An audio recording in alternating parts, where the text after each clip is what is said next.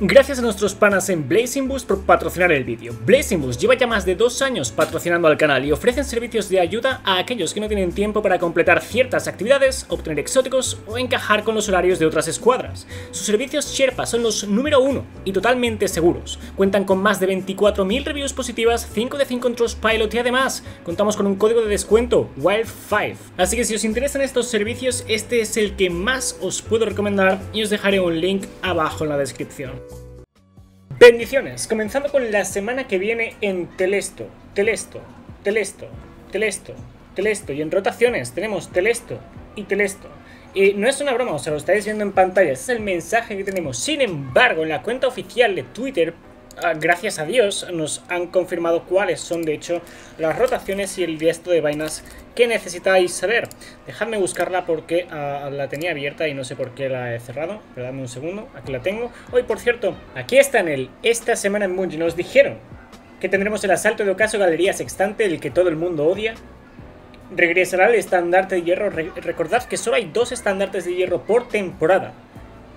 Vale, así que este es el último. Erupción ha vuelto, han resuelto por cierto un problema con erupción, debería estar mejor, así que esperemos, quiero decir, solo hay dos, así que aprovechadlo porque hay armas del estandarte que se marchan, el pulsos, no recuerdo otros, lo mencioné en otro vídeo, así que checadlo no lo habéis visto.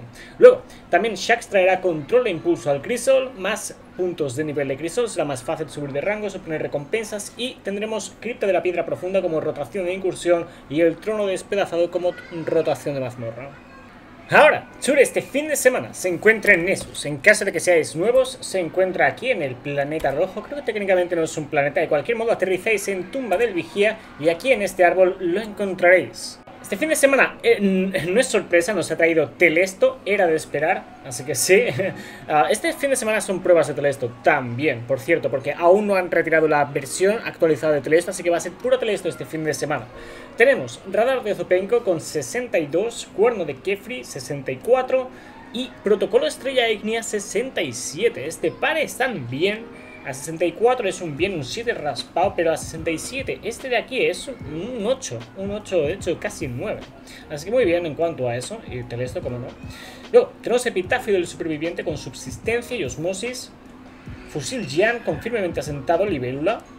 Saltamabas el pulsos del simbionte de racha con triturar.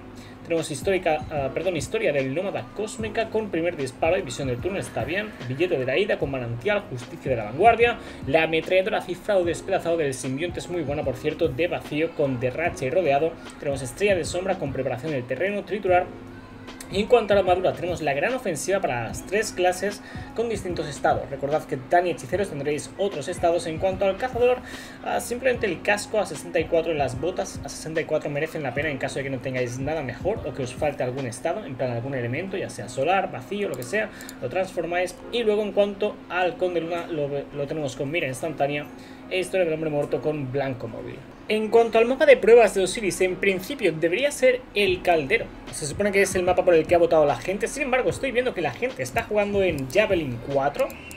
Aquí lo tenemos. No sé si es el que terminó ganando y fue un error. No sé cuál es el caso, pero Javelin 4 es el que estoy viendo por ahora.